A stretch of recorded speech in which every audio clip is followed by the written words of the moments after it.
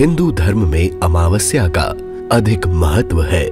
हिंदू पंचांग के अनुसार चैत्र माह में आने वाली अमावस्या को चैत्र अमावस्या कहा जाता है। इस दिन जप, तप, स्नान एवं उपवास का विधान है।